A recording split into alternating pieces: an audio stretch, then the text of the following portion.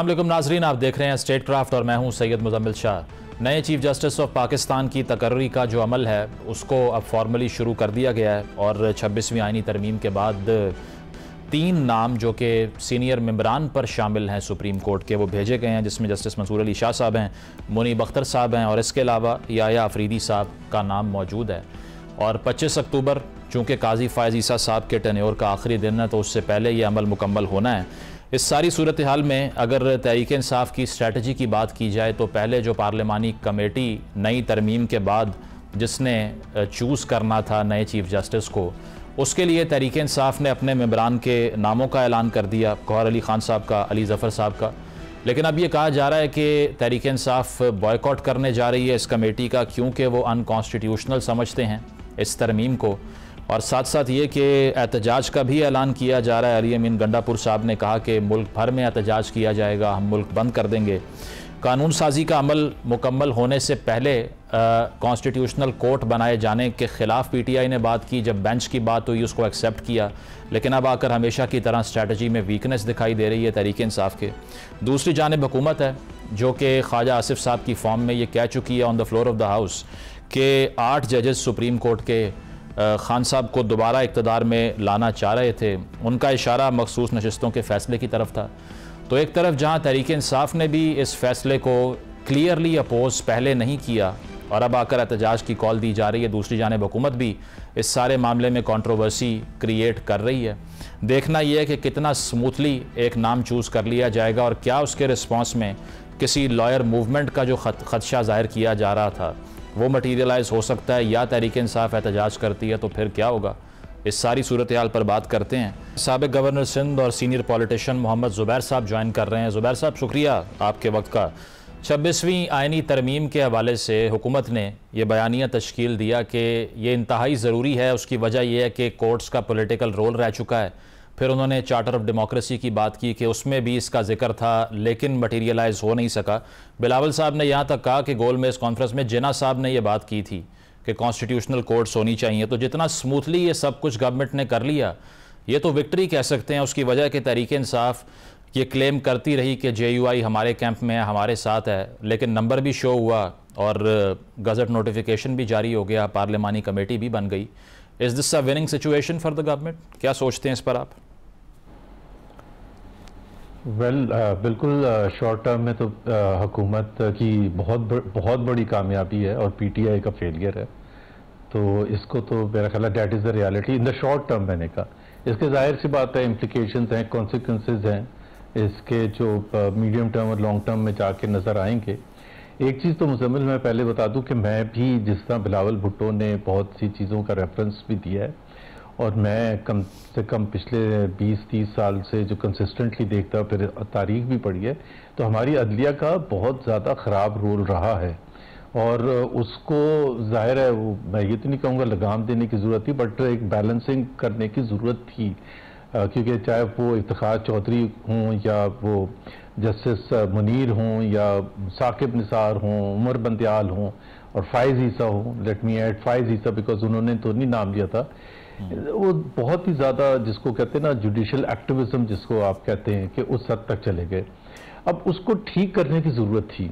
साथ में हम ये भी हमें एक्सेप्ट करना चाहिए कि हमारा पार्लियामेंट का भी बहुत ख़राब रोल रहा है। पॉलिटिशियंस का भी बहुत ख़राब रोल रहा है।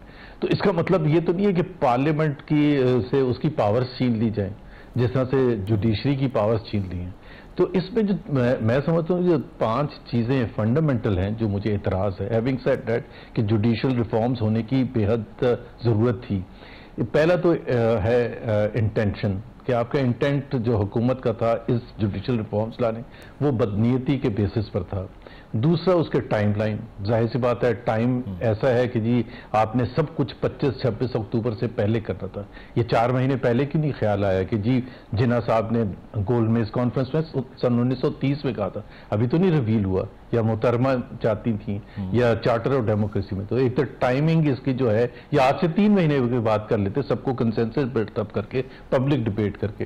तीसरा द सब्सटेंस कि जो उसमें खदोखाल है वो कितनी ज़्यादा ख़राब है। और चौथा the way they have gone about to achieve किसी चीज़ के लिए भी एक अच्छा भी इंटेंट हो, आप, का एक अच्छी चीज़ बट उसके लिए अगर आप लोगों को डरा धमका के और बुलडोज करके और इस तरह से अगर आप अचीव करेंगे जो कि तारीख में किसी के लिए भी आज तक ना बिलावल ने भी नहीं आंसर किया था जब पूछा मौलाना साहब से कि क्या पीटीआई के कंसर्न सही हैं कि वो जो लोगों को उठाया गया है? अख्तर महंगल ने खुद कहा कि उनके लोगों को उठाया गया क्या हुकूमत ने डिनाई किया? नहीं डिनाई किया। सो द मेथड जो यूज़ किया गया ये पार्लियामेंट का तरीक़ेकार अच्छा। नहीं होता और खासतौर पर इतनी बड़ी अमेंडमेंट करने का। और पांचवी चीज़ जो बहुत फंडामेंटल है ये जो इनके पास मेरे हिसाब से मैंडेट ही नहीं था बिकॉज़ जब तक वो इन्वेस्टिगेशन uh, नहीं हो जाती और ये नहीं पता चलेगा कि कौन जीता था और कौन हारा था क्योंकि हम्म। बहुत ज़्यादा स्ट्रॉन्ग एविडेंस है इस चीज़ का कि जी इसमें ज़्यादातर लोग जो बैठे हुए हैं वो आ, उनको वहाँ नहीं होना चाहिए पार्लियामेंट। में पहले कब हुई? दो हज़ार तेरह में जरदारी साहब ने कहा रोज का इलेक्शन है गवर्नमेंट चलती रही। 2018 में नून लीग ने कहा कि आरटीएस बिठा के पीटीआई को जितवाया गया पीटीआई चलती रही। अब ये भी चलती रहेगी। इस तरह तो नया पेंडोरस बॉक्स खोल जाएगा जो कंप्लीट ही नहीं हो सकता।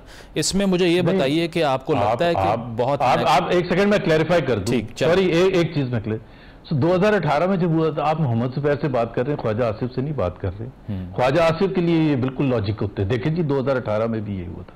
मोहम्मद जुबैर के लिए ये नहीं है।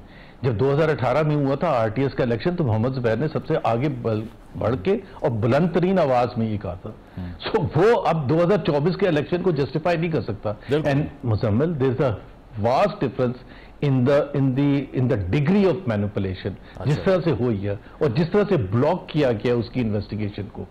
हम्म, और मुझे ये बताइए ये जो आयनी तरमीम के हवाले से नेगेटिव प्रोजेक्शन में चंद पॉइंट्स थे पहला तो ये बयानिया था कि जस्टिस काजी फायज ईसा एक्सटेंशन ले रहे हैं नहीं ली। दूसरा ये था अलग कॉन्स्टिट्यूशनल कोर्ट बन जाएगी नहीं बनी। तीसरा ये था कि हाई कोर्ट के जजेस ट्रांसफ़र हो हो जाएँगे और उसके बाद उनका एस एच ओ वाला हल कर देंगे वो भी नहीं हुआ।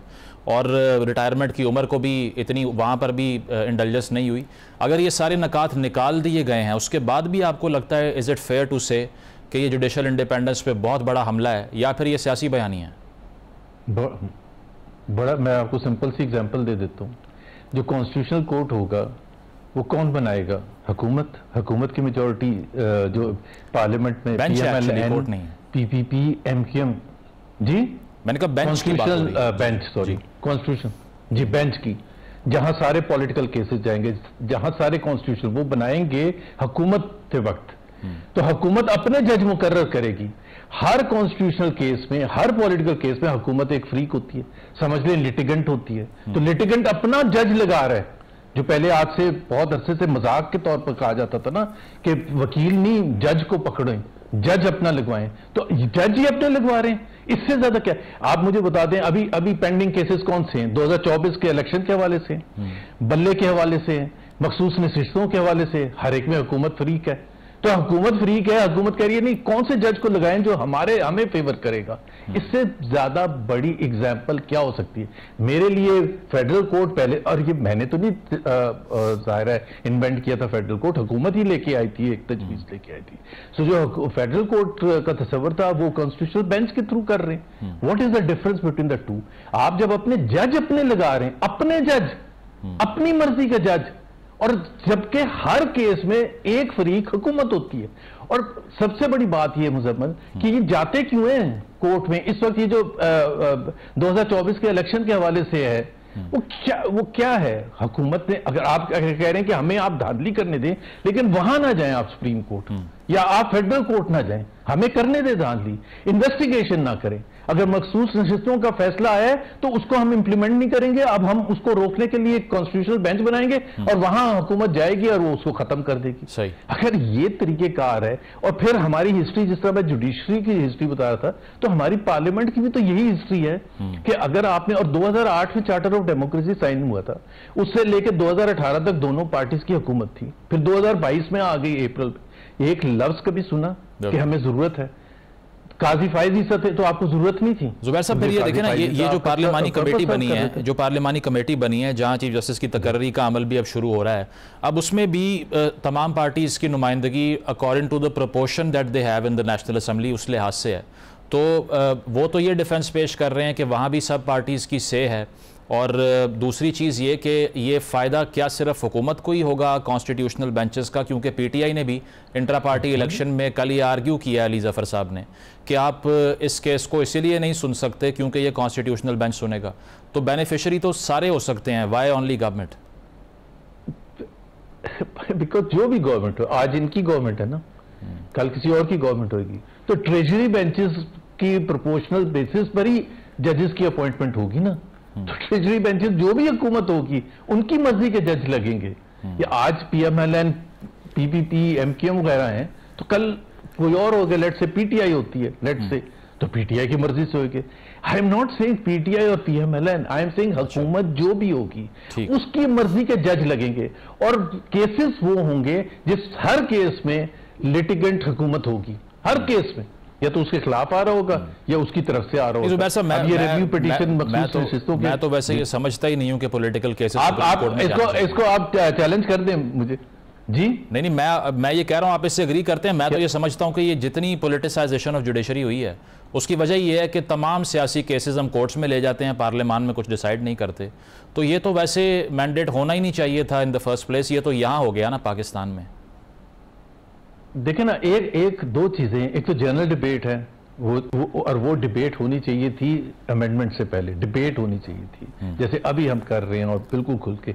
ये तो आप एग्री करते ना कि लास्ट मिनट तक बिलावल भुट्टो जब फ्लाई करके गए हैं कराची से इस्लामाबाद रात के एक बजे मीटिंग करने के लिए मौलाना फजल रहमान से फिर जिस दिन वो फाइनल जिस दिन पास हुआ है उस दिन भी रात हो गई थी तो बार बार आ रहे जा रहे थे। तो इसका मतलब है किसी को भी ना आपको पता था ना मुझे पता था ना किसी और को पता था कि एक्चुअल में क्या फाइनलाइज हुआ है। सो हमें तो डिबेट करने का मौका ही नहीं मिला।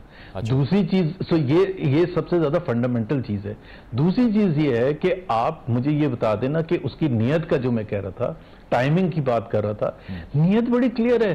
ख्वाजा आसिफ ने एक दफ़ा नहीं दस दफ़ा ये कहा कि अगर मंसूर अली शाह बन जाएँगे चीफ जस्टिस तो फिर इलेक्शन का ऑडिट शुरू हो जाएगा और हमारी मेजोरिटी खत्म हो जाएगी। भाई आपको तो सबसे आगे बढ़ के हाथ खड़ा करके कहना चाहिए सियालकोट का सबसे पहले कर लें भाई आप ऑडिट अब मसला ये है कि ये तो इन्वेस्टिगेट हो ही नहीं सकता ना। Islamabad is a prime example एक कैपिटल सिटी में तीन सीटें हैं। मुझे एक शख्स बताते वहाँ मुस्वक होकर भी दो सीटों पर लड़े थे। मुस्वक होकर तो नहीं क्लेम कर रहे कि मुझे आप फॉर्म 47 मेरे फेवर में देते हैं। वो तो कह रहे हैं फॉर्म 47 फॉर्म 45 जो उनको मिला है he is not the number two candidate he is not going to get seat that has been claimed by PMLN. Hmm. वो ये कह रहे हैं कि that has been won by PTI. और चार दूसरे जो लड़े थे उन हलकों से इलेक्शन उनके सबके फॉर्म 45 सेम है. अब अगर आप मुल्क को आगे लेके जाना चाहते हैं और आप जोरे बाजू तो फिर आप सीधा सीधा फिर इमरजेंसी लगाएँ और कोई इस सेमी मिलिट्री रूल लगा दें कि जी कोई चीज़ इन्वेस्टिगेट नहीं होगी जैसे नॉर्थ कोरिया में नहीं होती एग्ज़ाम्पल दें सही बिल्कुल धड़ल्ले से एग्जांपल देंगे नॉर्थ कोरिया में कौन ठीक है डिसाइड करता है ऑन द लास्ट पॉइंट अब पीटीआई ने जो पार्लियामानी पार्टी का हिस्सा बनने से भी अब सुनने में आ रहा है कि वो अवॉइड करेंगे। फिर उन्होंने वोटिंग में भी हिस्सा नहीं लिया। वो कह रहे हैं हमारे कुछ मेम्बरान भी गायब हो गए।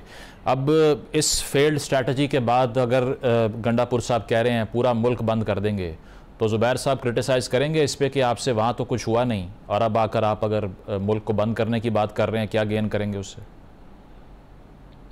पहली तो बात यह है कि पीटीआई हैज़ ऑब्वियसली काफ़ी उन्होंने मैसअप किया है सारा प्रोसेस आ, आ, ये सारे lead up to the amendments में uh, जो सियासत उनको करनी चाहिए थी उनकी लीडरशिप को करनी चाहिए थी वो नहीं की है hmm. और that is why there is a disconnect between the workers and the leadership बड़ा क्लियर डिस्कनेक्ट है। उनमें जो गमो गुस्सा है वो इस वजह से हुकूमत की तरफ़ तो है ही ज़ाहिर सी बात तो होगा। हम्म। लेकिन जो मेन डिससेटिस्फैक्शन है डिप्रेशन है वो अपनी लीडरशिप के अगेंस्ट है। सो पीटी मैं पीटीआई को रिप्रेजेंट भी नहीं कर रहा। तो मैं तो समझता हूँ कि PTI should have played cards well by the way उनको एक रिस्पॉन्स करना चाहिए था ये अमेंडमेंट नहीं ये अमेंडमेंट होनी चाहिए। और हम्म। क्यों ये अमेंडमेंट हमें एक्सेप्टेबल नहीं है? बट देवर बिल्कुल silent about the whole thing तो वो मुल्क को बंद करने की बात करें अगर वो जमहूरियत के हवाले से जो भी प्रोसेशन या जुलूस वलूस निकालते हैं obviously I will support that ठीक है। बहुत बहुत शुक्रिया। मोहम्मद जुबैर साहब हमारे साथ मौजूद थे।